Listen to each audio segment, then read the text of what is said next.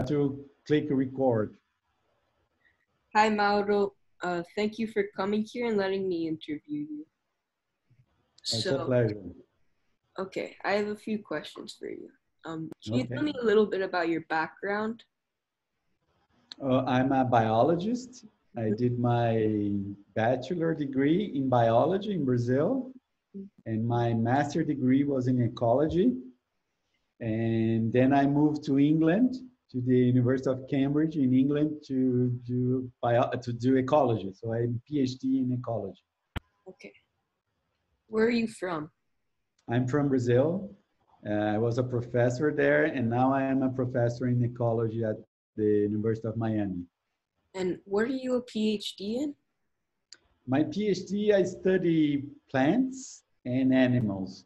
What's the importance of plants for the animals? And what's your specialty? I study animals that plant the forest.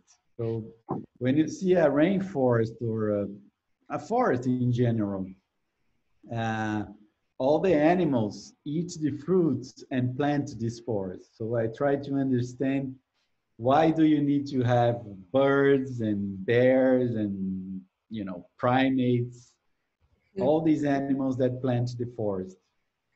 And why are rainforests important to the world?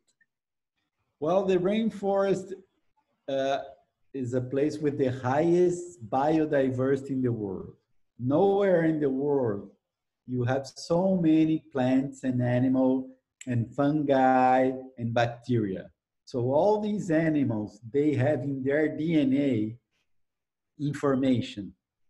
So if we want to save, you know, if you want to find a, uh, to solve a problem for humans, it's going to be in the rainforest. We have plants that can produce um, drugs for human well-being. We have different foods uh, that we can use.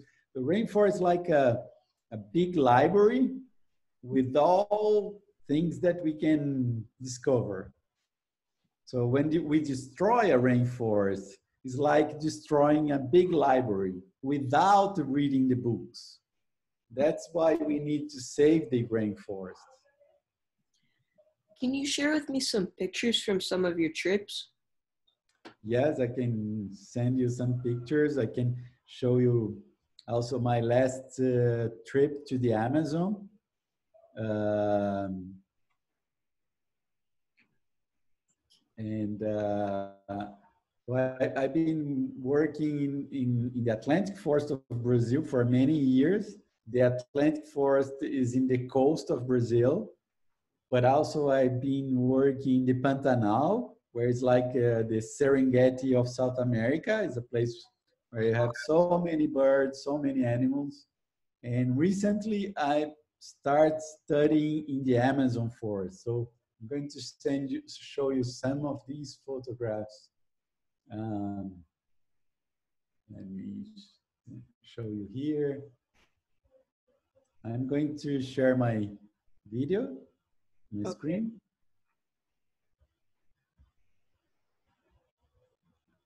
So here I am in the Amazon forest. Oh, some are, this is a bird. Ah, that's a nice video here. I can't see it. No? No. Ah, just a second. There we go. So let me show you again. This is a tapir. So that's in the Amazon forest. So I went to, to a hotel, you know, where we stay, and it's surrounded by rainforest. And this is the largest mammal in the whole uh, South America, is the tapir. That's cool. It's super cool. It's an herbivore. They eat only plants and very nice and they're not dangerous at all. it just came to the hotel to drink the, the water. And, and then you, we saw this, that's the tarantula. Oh, But a, a lot of people are afraid of tarantulas, but they are harmless. They, they don't Really? bite you. They're not ve- uh, venomous. They're nice. This is the rainforest. Here's the Brazil nut, a big fruit. Mhm. You see the fruit here? There's a fungi, fruits, fungi. This is a place where animals come to, to have a bath. Here's what I do. I put a camera trap. You see a camera here Huh? Yeah. and all the fruits of this Brazil nut. And then I study who, what are the animals in the forest that feed on the Brazil nut and plant the seeds. So Uh-huh. the animals in the forest are like squirrels. They come, get the fruit, and plant. So I'm trying to discover, these are some of my colleagues, my biologists. You see all the fruits here, and there we put several cameras around. I think there's one camera here. See all these fruits? Mhm. Yeah. So we go to the forest to study the animals, but also the plants. So I can send you all these photographs so you can incorporate in your, uh, ah, this is very nice. Is how to open the fruit.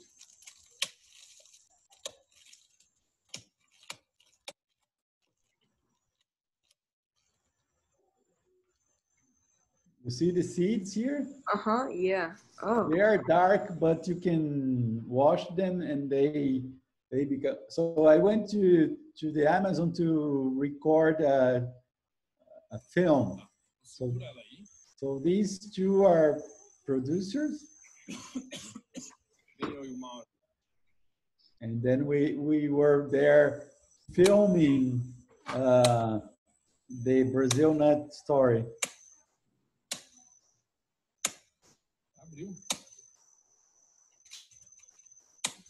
It's really hard to open this fruit.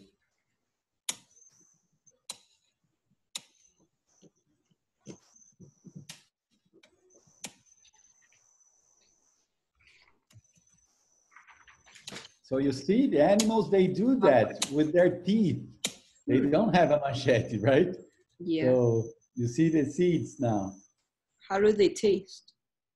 Well, they they uh, there's like big rodents and macaws. They are the only ones that can open these fruits. Here, look the seeds here. These are all Brazil nuts, and it's very nutritious seeds. Mhm. Look, here's a primate in the Amazon, a marmoset, uh, and it's super rare, and, and they exist only in this region in the Amazon. How long is the tail? Oh, it's quite long. It's it's like uh, 15, 20 centimeters. Hmm. So the, let me, ah, this is uh, some super rare animal. That's um, a fox in the middle of the Amazon. It's one of the most rare animal in the world. What's it called? They call, I think it's how they call it in, in uh, small ear fox. Oh. So only using these cameras we can detect that they exist because you will never see them. They are like ghosts in the forest. Here are another photograph. And here's the Amazon forest. Hmm. So I'm in a tower with more than 40 meters high.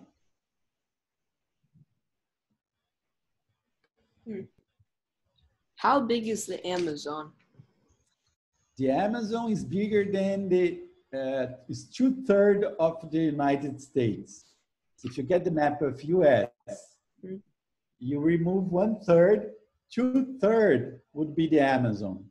Hmm. So the Amazon is huge, it's very big. Uh, it's the largest rainforest in the whole world. What are the main threats to the rainforest? Well, people are destroying the rainforest for many, many reasons, but mostly to plant uh, grasslands for cattle beef because we eat too much meat uh, and there's a big demand for that. Uh, plants are, uh, people are destroying the, the rainforest. Here's just uh, a video with drone. But people are destroying the Amazon to put um, uh, cattle ranching. Oh. Let me show you. Here is on the plane. And what's extinction? Extinction is when the last last individual of one species disappear. Imagine that you are the last of the species and then you die. This is an extinction. So when the last panda or the last grizzly bear, the last individual die, this is an extinction. So we know a lot about dinosaur extinction, right? There is no more dinosaurs because they all disappeared. Why should we care about extinction? Well, because all these plants and animals, they carry in their DNA information that we need to decode. We need to discover why, what is this information? This information, you know, planet Earth has 4.5 billion years and life has about 3.5 billion years.